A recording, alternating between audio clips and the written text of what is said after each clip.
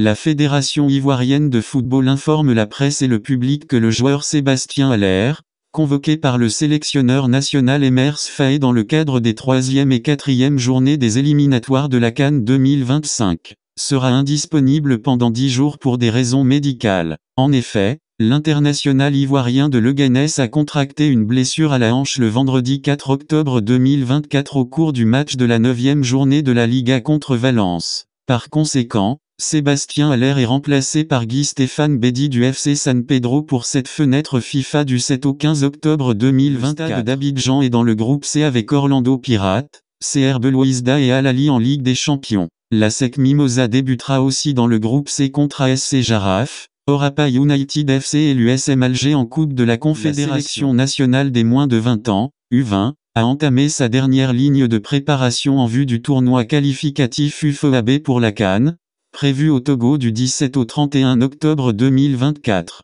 Pour cette dernière étape de la préparation, le sélectionneur national Lassina Dao a retenu 23 joueurs dont Yvan Conan, Olympique lyonnais, Koudouz Damba San Pedro, Erwan Anyikwa, Zult Odilon Kouassi, AC Orsens, Christ Wawa, Racing Club d'Abidjan, et Oumar Konaté, Sol FC. Les séances d'entraînement ont débuté ce lundi 7 octobre 2024 au Centre technique national de football de Bingerville dans une très bonne ambiance. Cette dernière ligne droite de préparation sera ponctuée de deux matchs amicaux, le jeudi 10 octobre et le lundi 14 octobre 2024. Après quoi, la sélection ivoirienne embarquera pour Lomé, la capitale togolaise pour le grand rendez-vous zonal.